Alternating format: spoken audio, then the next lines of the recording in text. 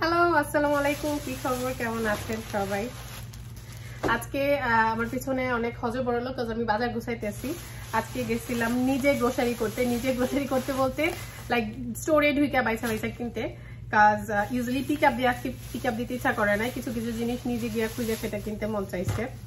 On top of it ওয়ালমার্টের সাথে গেছি হচ্ছে ডলার ট্রিতে সো ওইখান থেকেও দু একটা জরুরি টুকটাক জিনিস কিনছি। বাহিরে এত গরম, জিব্রিল পর্যন্ত বলতেছে, মামা it's too hot too hot so এই গরমে অবস্থা খারাপ।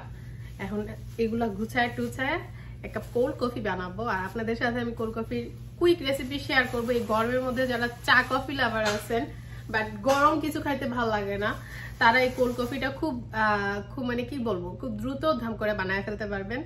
একদমই সময় কম লাগে আর খাইতে খুব স্বাদ। কোল্ড কফি যারা খান, তারা তো জানেনি আর যারা এখনও ট্রাই করে নেয় আমার রেসিপিটা ট্রাই করবেন, আমি এখন এগুলো গুছায় খুব ভালো লাগছে। সকাল থেকে কিছু খাইনি এখন চিপস খাইতেছি আর বাজার গুছাইতেছি।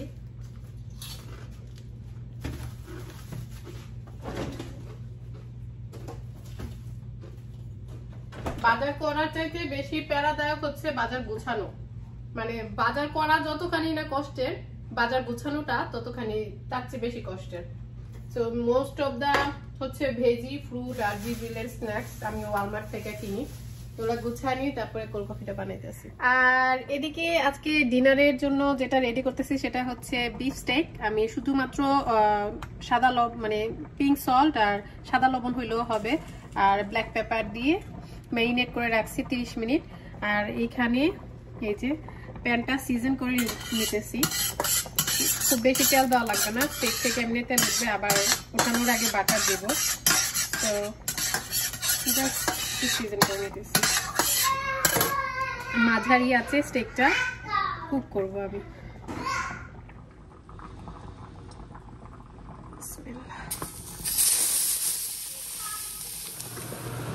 আইস কফির জন্য আমার যেটা লাগবে আইস লাগবে।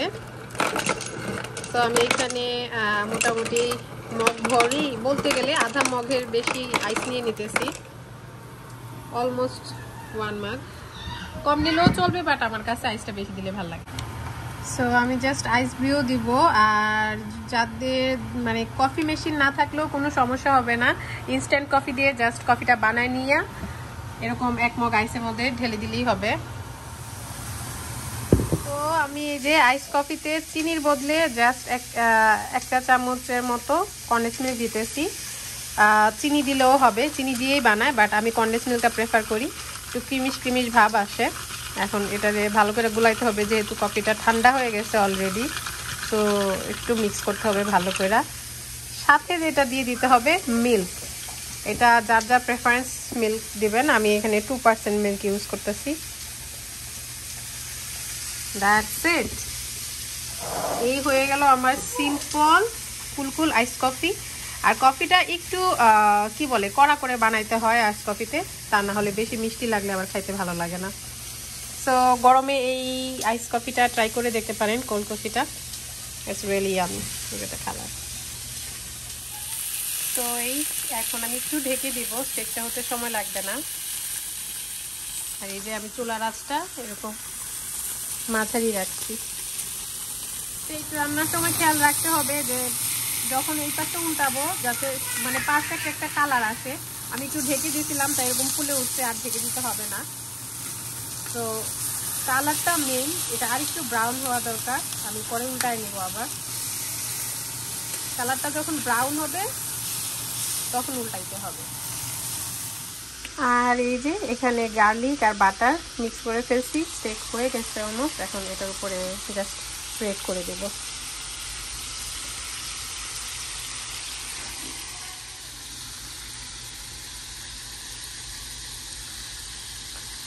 দেওয়ার সাথে সাথে সুন্দর একটা স্মেল আসছে।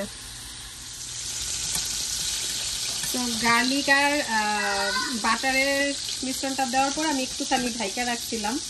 জানি না কেমন হয়েছে প্রথমবার স্টেক রান্না করলাম। রেসিপি তো জানতাম বাট কখনো করা হয় নাই। এ আজকের স্টেক ব্রাসলেট ভালো লাগলে এক্সট্রা খাবে। জানি না কেমন হয়েছে। আর আমি এদিকে ম্যাশ পটেটো করে ফেলাইছি একটু দেখাও। ম্যাশ পটেটো করছি আর মাশরুম স্যুপ তো এই হচ্ছে আমাদের আজকের ডিনার সো ভালো থাকবেন সবাই।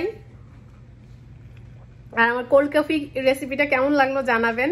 এভাবে এই গরমের মধ্যে যারা চা কফি খোর আছেন আমার মতো কোল্ড কফি বানায় খান মোর মোর হাইড্রেট থাকেন, বেশি বেশি করে পানি খান। আল্লাহ হাফেজ।